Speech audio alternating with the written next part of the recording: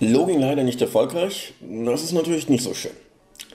Daher gibt es die Möglichkeit, auf Passwort vergessen zu tippen. Wobei wohlgemerkt, wenn Sie draufklicken, Ihnen eine Möglichkeit angegeben wird, und zwar E-Mail, Adresse oder Nutzernamen eingeben.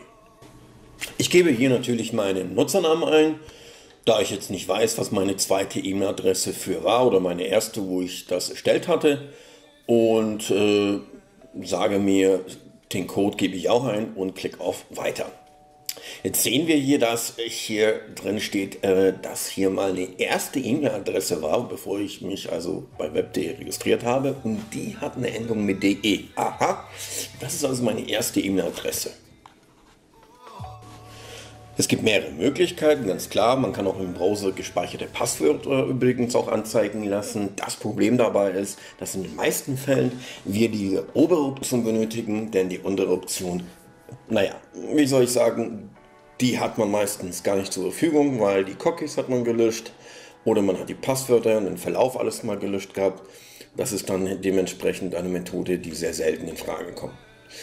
Ähm, man kann es machen, es gibt auch dazu Anleitungen. Man könnte also da draufklicken und man sieht eine Anleitung für Firefox, für Chrome oder für Internet Explorer. In dem Fall mittlerweile, wenn man Windows 10 hat oder Windows 11 Each äh, Browser und von daher nehmen wir die erste. Die andere Option, die ich jetzt nur in einem neuen Tab öffne, ist eine mit Identitätsprüfung per Personalausweis oder Reisepass. Die ist wirklich nur im schlimmsten Falle, im härtesten Fall wirklich im härtesten Fall.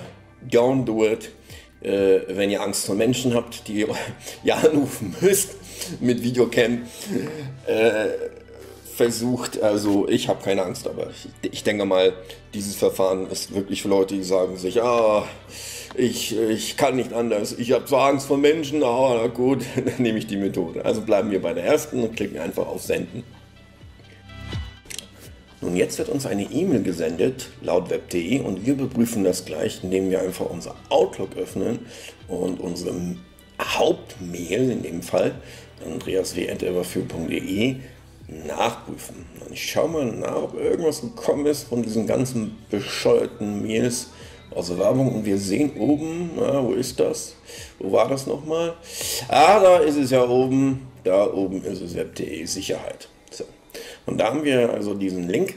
Und diesen Link, den versucht man nicht einfach rauszukopieren, weil es sowieso nicht geht, aber es könnte sein, dass man das versucht, sondern wir klicken sicherheitshalber einfach ganz normal auf diesen Link drauf, denn alles andere äh, wäre Nonsens. Okay, also wenn wir ganz normal auf diesen Link draufklicken, ich mache das jetzt nochmal, dann kommen wir zu einer Seite, die heißt Passwort vergessen und ich soll dann eine E-Mail-Adresse eingeben oder einen Nutzernamen. So, das ist natürlich nochmal das gleiche, was wir vorher hatten. Ich gebe natürlich wieder mal meine E-Mail-Adresse ein, diesmal äh, natürlich wieder mal komplett mit web.de und klicke auf Weiter. Dann habe ich die Möglichkeit, ein Passwort äh, äh neues einzugeben. Das sollte mindestens acht Zeichen haben. Und ich kann dementsprechend mir ein starkes Passwort vorschlagen. Und wenn ich da draufklicke, dann tut mir, also das ist eine Funktion von Google Chrome, äh, dann tut mir er ein Vorschlagen Passwort und ich kann mir das dann einfach auswählen und dann klicke ich auf Passwort speichern natürlich und dann kann ich das auch gleich hier aktualisieren und wieder auf Speichern klicken, damit auch ich mein Passwort in Zukunft bei Chrome gespeichert habe und nie wieder sowas passiert, dass ich es vergessen habe. Und das war es im Endeffekt. Jetzt müssen wir einfach nur äh, auf Aktualisieren klicken, auf Login und siehe da, voilà, Menü. Ja, fast voilà. Money, aber nur fast. Ja, der Adblocker ist so eine Sache, den sollten Sie bitte deaktivieren, dann ähm, sollten Sie auch zum ersten Mal und deaktivieren, denn es gibt hier keine Umwege. Also einfach deaktivieren und dann geht es gleich weiter. Nachdem wir den Adblocker deaktiviert haben, müssen wir einfach nur in 5-Taste klicken und dann kommen wir auf dieses Fenster und klicken wir auf zum Login natürlich und auf den Login-Button nicht zu vergessen zu klicken und dann machen wir noch einmal Login und dann sind wir auch schon drin. Nach einiger Zeit natürlich, denn das dauert, je nachdem wie viel man E-Mails drin hat. Und dann kommt wieder dieses Fenster und bitte, do it, spenden Sie nicht. Klicken Sie einfach auf Weiter und gut ist. Diese 3,99 können Sie mir spenden statt web.de für tolle Videos, die ich mache. Das war's auch schon.